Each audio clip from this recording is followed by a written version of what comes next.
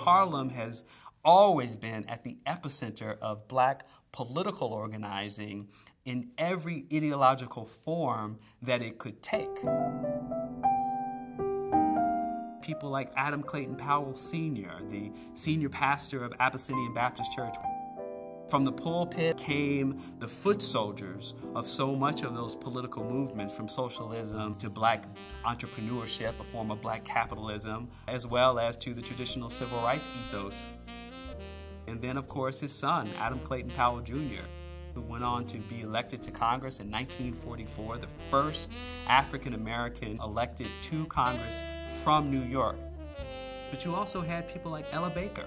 Ella Baker was an early organizer here in the 1930s, but eventually rose to national significance as the field secretary for the NAACP. Well, it was Ella Baker who worked closely with Stokely Carmichael. They wanted to take a more direct action approach and eventually led to the founding of the Student Nonviolent Coordinating Committee.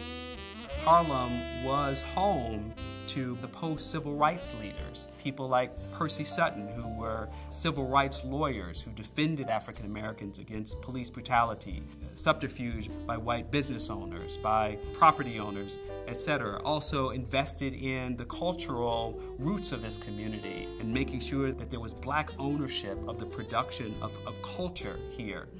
You also had nationalists like Marcus Garvey to eventually members of the Nation of Islam that began to set up shop here uh, in the 1940s and 50s. The second most important outpost of the Nation of Islam that was headquartered and opened by Malcolm X, Temple Number 7, was here in Harlem.